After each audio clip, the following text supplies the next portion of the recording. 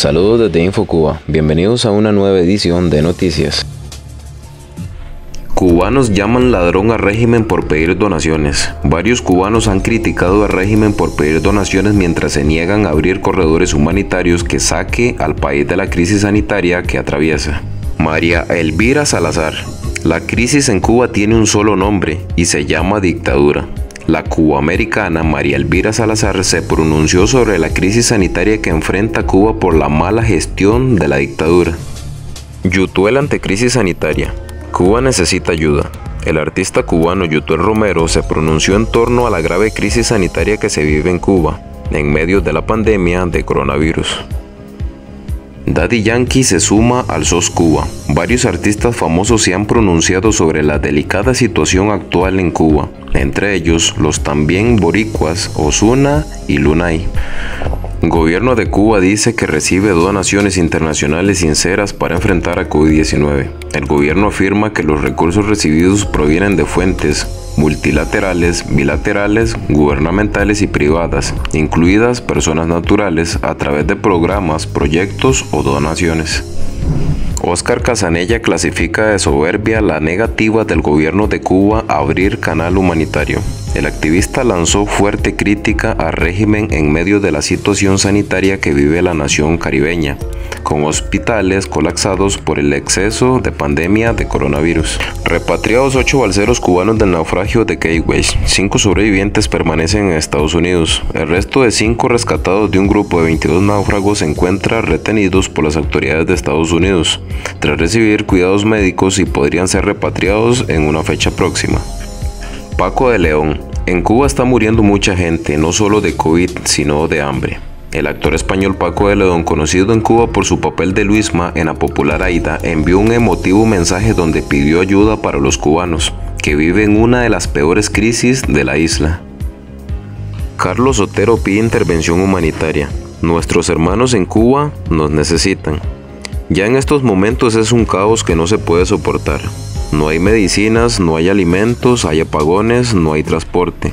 Los hospitales en unas condiciones que todos saben cómo están, expresó.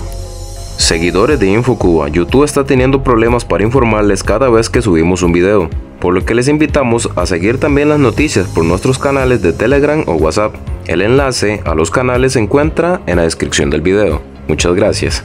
Seguridad del Estado impide visitas entre activistas cubanos. A la productora y promotora cultural independiente Admita de Cárdenas, los segurosos de turno en el cerco permanente a la casa de Tania Brugrera le impidieron este viernes la entrada al edificio por segunda vez en 15 días. Santiegueros se rebelan contra los abusos de la policía cubana. No somos perros. Apágueme eso, dijo un oficial, refiriéndose al celular con el que un vecino transmitía su directa. No, esto es mi teléfono. Esto es mío y nadie me puede mandar a pagar nada. Yo estoy en todo mi derecho, protestó. Cubanos en España crea plataforma para donar medicamentos en medio de crisis sanitaria por coronavirus. Corredor humanitario a Cuba. Es el nombre de la propuesta que la editora Maciel Rubio y un grupo de amigos creó, con el fin de ayudar el déficit de medicinas en la isla.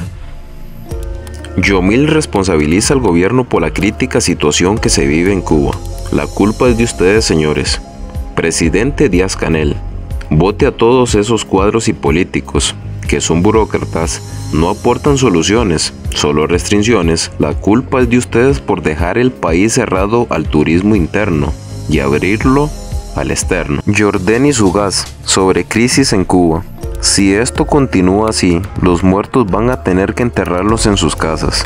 En Cuba no hay medicinas, no hay comida, los hospitales están colapsados.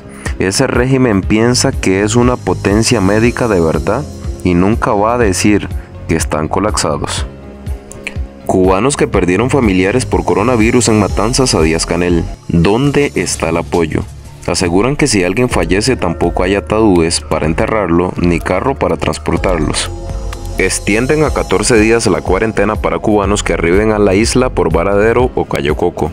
Los cubanos que arriben por Varadero o Cayo Coco deberán pagar un paquete de alojamiento y transportación por 14 noches, con el fin de permanecer en cuarentena. Cubana desesperada por salud de su hermana recién parida y con coronavirus en Matanzas. La hermana de Roque Betancourt se contagió de COVID-19 en el hospital materno de Matanzas y tras ser separada de su hijo recién nacido, la remitieron al Faustino López de esa provincia. Gente de zona sobre crisis sanitaria de coronavirus. Cuba se está muriendo. Tras alertar que Cuba se está muriendo, gente de zona agregó que en el país se necesitan alimentos, medicinas y libertad. Daddy Yankee, Nati Natacha, Don Omar, deportistas e influencers se unen para gritar SOS Cuba. Más artistas, músicos, deportistas e influencers de todas las nacionalidades siguen sumándose a la campaña SOS Cuba. Residente denuncia ineficiencia del régimen cubano ante crisis en Cuba. El cantautor René Pérez, conocido como Residente, se unió a las voces que piden una intervención humanitaria por la crisis en Cuba. Exdiputado cubano pide ayuda internacional ante crisis sanitaria sin precedentes. El médico Luis Ángel Adán Roble, exdiputado a la Asamblea Nacional, urgió ayuda humanitaria en medio de la crisis sanitaria en Cuba. Colas y aglomeraciones en Habana para comprar un pedazo de pollo. Los cubanos en Habana deben buscar la manera de sobrevivir ante el hambre y la miseria haciendo colas para comprar alimentos. Cubano le pide a Díaz Canel que renuncie al cargo por permitir la crisis sanitaria del coronavirus.